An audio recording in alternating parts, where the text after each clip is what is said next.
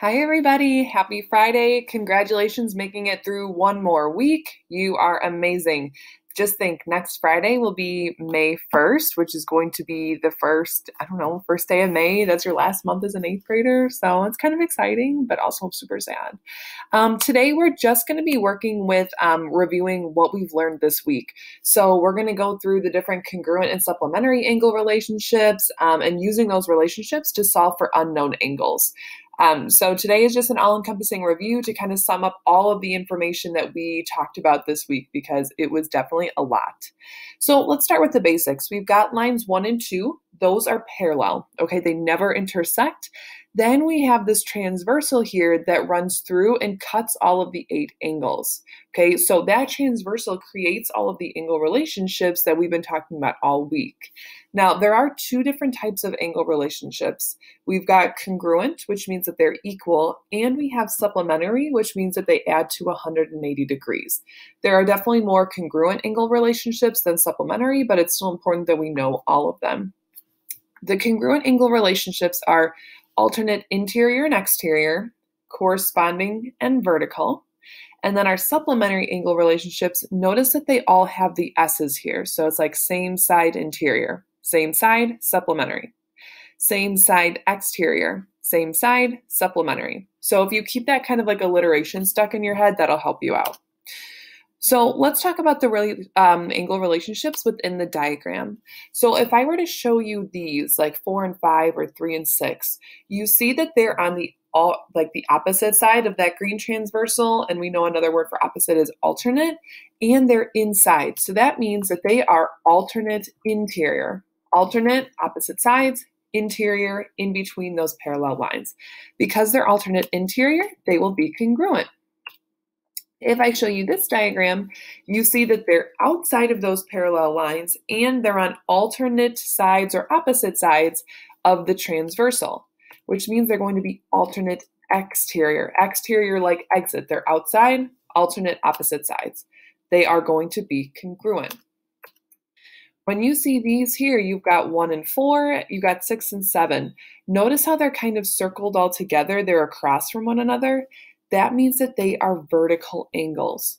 Okay, if you can circle them across from one another, they are vertical, and that means they're congruent. So, like if angle 1 was 100, 4 would be 100. If angle 6 was 30, 7 would be 30. Okay, this is the most common misconception with kids is identifying this angle relationship here. You see that you've got the two clusters within your transversal and parallel lines. If you have an angle that's in the same spot on the top as it is on the bottom, like this is in your top right and this is in your top right, that means that it's going to be corresponding. Those are in corresponding positions. They're in the same position in the top and the bottom of the diagram. Because they're corresponding, they're going to be congruent. So they're going to be equal. If angle 1 was 70, angle 2 would be 70. Now, these are what we more, um, more recently looked at, especially yesterday we see that three and five here, not only are they in between those parallel lines, but they're on the same side.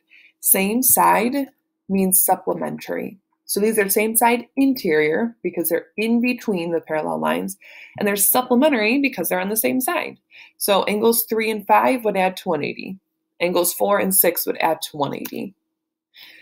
Obviously, hopefully you can guess um, what this one would be.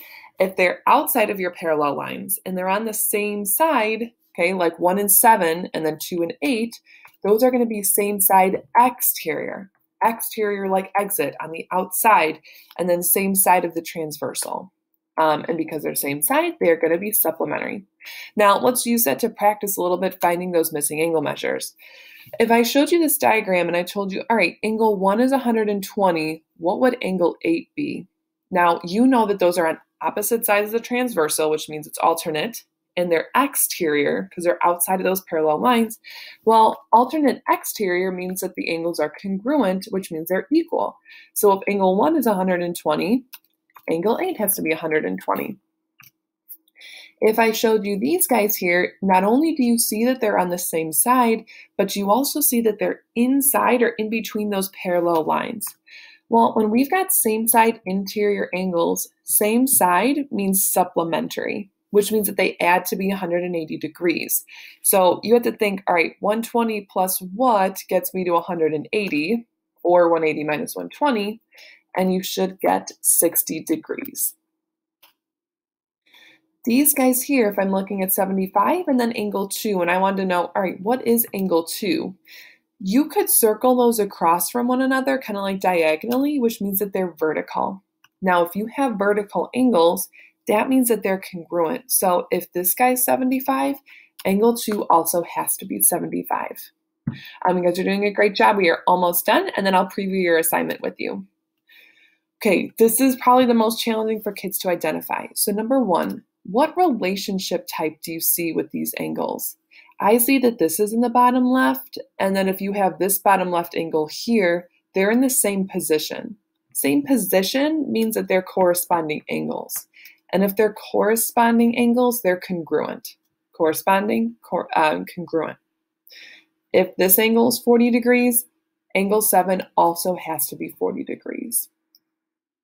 All right, um, these guys here, angle 2 and angle 150, they're on the same side of the transversal and they're outside of those parallel lines. So they're not going to be same side interior, they're going to be same side exterior because they're outside.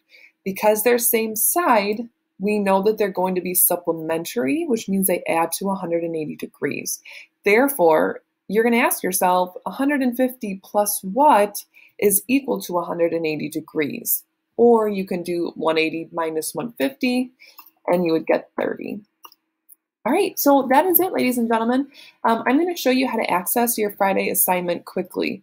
So what you're going to do first is you're going to go to your e-learning folder and then click the Friday Angles Review. So if you were on Schoology, it would look like this. So you go to the Friday, um, I'm in the e-learning folder. You click Friday Angles Review Assignment, and when you click, it's going to look like this. Um, so it's gonna it's only a few slides. So here are your directions. You only need to do work or like drag and drop on slides three and four. Okay, so when you come to slide three, you're going to see this diagram and it's going to say, all right, angles one and four, these across from one another, what relationship are they? And then you can pick up these little spots here and you can drag them and drop them into the table.